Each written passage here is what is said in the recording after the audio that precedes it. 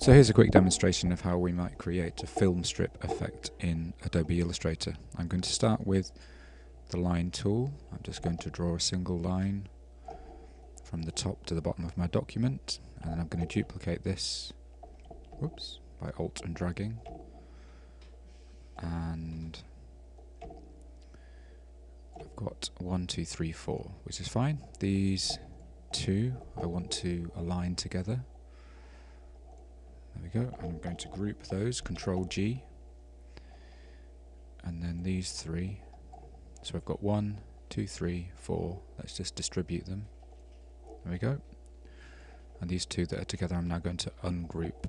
And if I create one, sorry, if I select one, I'm just going to edit the stroke to make this as fat as possible. Let's make this, let's try 100. Whee, that's good.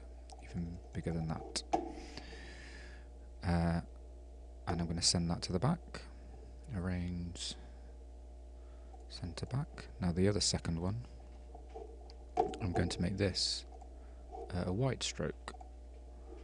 And again, let's make this quite fat, but not quite as fat as the previous one. So say 80, a bit too much maybe, 70.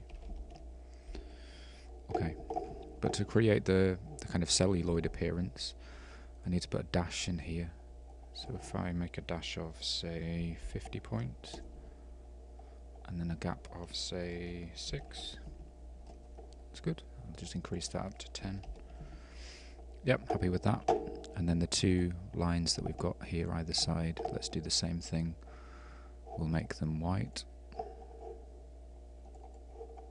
Um, we go, white and again let's change the stroke so that the stroke is dashed. Um, so let's make that say six point followed by a six point dash. So six six. There we go. Smashing. So there's my film strip. I think I'd quite like to convert these what are essentially single lines of different weights, I'd like to convert these all to objects. So I'm going to select all of these lines and convert them from stroked lines to actual rectangles, which I can do with object, uh, path, and then outline stroke. So it will take our very thick and thin strokes and convert them into the, the rectangle shapes that we've created. So there we go. So these now exist as um, just ungrouping them. These now exist as separate objects rather than a stroked line.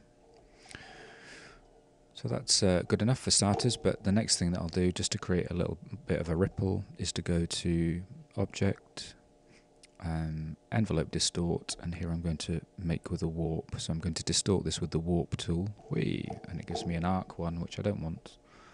The one that I want is called flag, and I just need to change the direction of that warp. So there we go. And we can change the, the direction and the degree to which that warps. And we can also, if we want to, make the